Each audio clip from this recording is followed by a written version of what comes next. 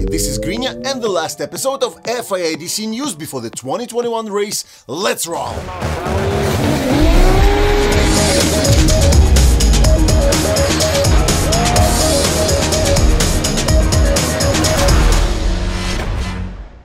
Today we'll see the full list of participants, and new judges panel, and where to watch the broadcast of the major drift race of this season, FIA IDC 2021.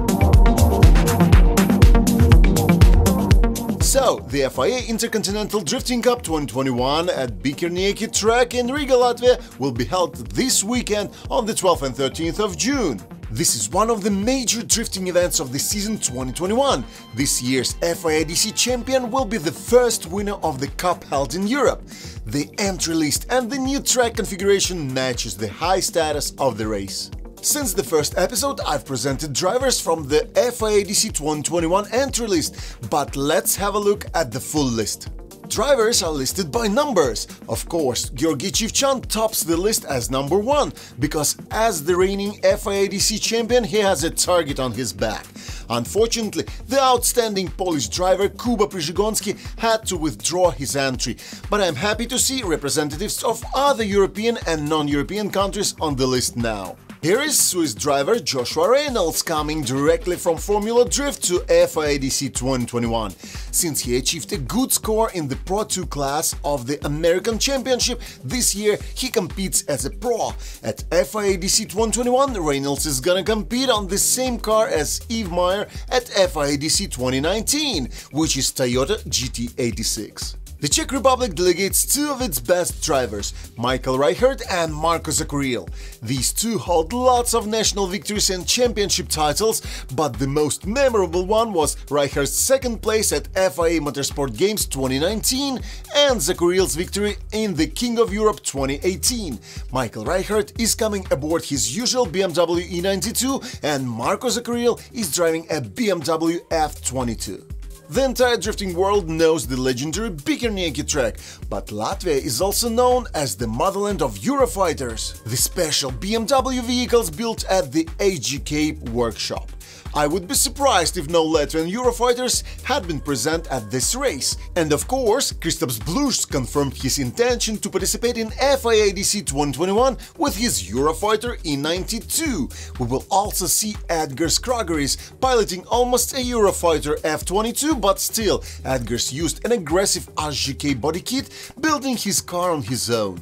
Besides, Latvia was also represented by Ivo Tsirulis, which makes a perfect Latvian team. Apart from these guys, Mozambican drivers Anil Satar and Japanese Tony Arakaki have also submitted their entries and have been approved. Besides personal standings, we will witness the team's title competition. In the first episode of FIA IDC News, I told you about iMall Racing Team. Today, I would like to introduce you two new ones. Fresh Auto Drift, consisting of Damir Diatulin, Evgeny Losev and Jack Shanahan, and ACI Team Italia of Manuel Vaca and Massimo Kekin. It looks like the competition for the team's title will be just as intensive. Apart from that, there is some news from the judges panel. All of us know the challenges of today's epidemiological restrictions. For this reason, the panel of judges at FIA IDC 2021 will consist of European judges David Kallas, Vernon Zvenwald and Ike Simonyan. To our deepest regret, the judges will not be the only ones to be influenced by the current quarantine restrictions. The FIA Intercontinental Drifting Cup 2021 broadcasts will be available in two languages, in English and Russian.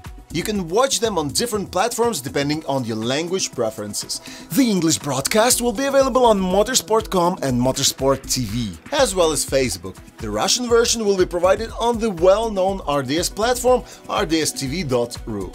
You can find the links in the description box below and you will see the race timetable in the final title. Now let me tell you about the qualifying line of FIA IDC 2021. To match the high status of the event, it is not an easy one.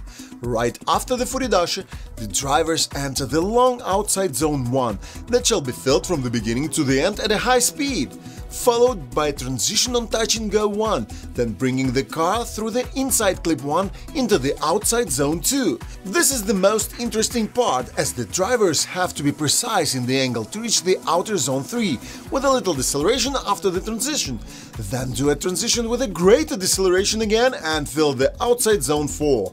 After that, they will make a little run in, make a transition, get touch and go 2 and, as they slow down, fill the outer zone 5. All in all, there are 5 transitions and 4 deceleration zones. You need to be a real top-class driver to adhere to this line. And here's some information about the race format. As usual, it will consist of qualifying and battle competitions. The driver's performance will be evaluated by the judges who are allowed to use any visual or electronic aids. In the qualifying round, the judges will split the score into the three criteria – line, angle and style. The right line is determined by the way the driver fills the inside clips, touch and go zones and outside zones you can see in the track layout. The maximum score for the line is 40. For the angle, the drivers can only get 30 points, and the maximum of 30 can be accrued on the style. The points for style will be split evenly between fluidity, 15 points, and commitment, another 15 points. Commitment is the forward movement of the car, while fluidity is the motion of the vehicle on its own axis. But the main part of the competition is the tandem portion of the event.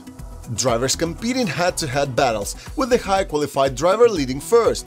The judges will watch both run 1 and run 2, comparing lead runs to one another, then the following runs to one another to find the driver that was more dominant over both positions. Judges are looking for the driver that performs better overall in the tandem battle, but if the judges are unable to find a clear winner, a one more time battle is called.